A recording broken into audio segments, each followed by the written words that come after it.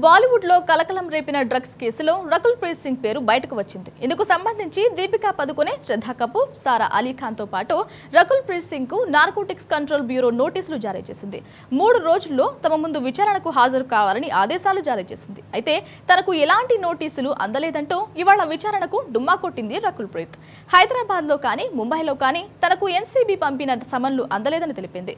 ఈ మేరకు రకుల్ ప్రీత్ మేనేజర్ ఒక ప్రకటన విడుదల చేశారు. తమకు ఇంకా సమన్లు అందలేదని తెలిపారు. ఒక యాడ్ ఫిలిం షూట్ కోసం హైదరాబాద్ వచ్చిన రకుల్ ఎన్సీబీ విచారణ వార్తల నేపథ్యంలో ముంబై వెళ్ళారు.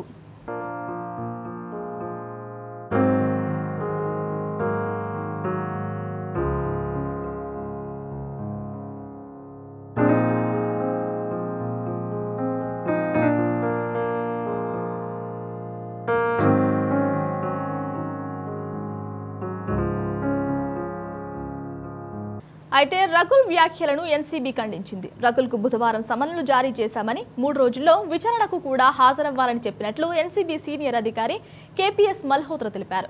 రకుల్ ఫోన్లో అందుబాటులోకి రాలేదని వివిధ ప్లాట్ఫామ్ల ద్వారా ఆమెను సంప్రదించినప్పటికీ ఆమె నుంచి ఇప్పటి వరకు ఎటువంటి స్పందన రాలేదని తెలిపారు. పైగా ఇది కేవలం ఒక సాకు మాత్రమే అని చెప్పుకొచ్చారు.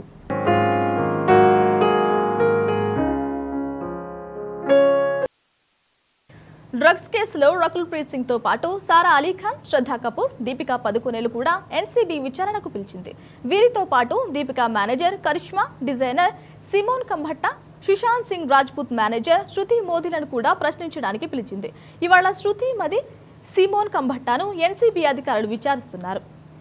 రేపు రకుల్ ప్రీత్ సింగ్ దీపికా పదుకొనేను రేపు విచారించనున్నారు. సారా అలీఖాన్ శ్రద్ధా కపూర్లు శనివారం దర్యాప్తుకు హాజరు కావాల్సిందిగా అధికారులు ఆదేశించారు.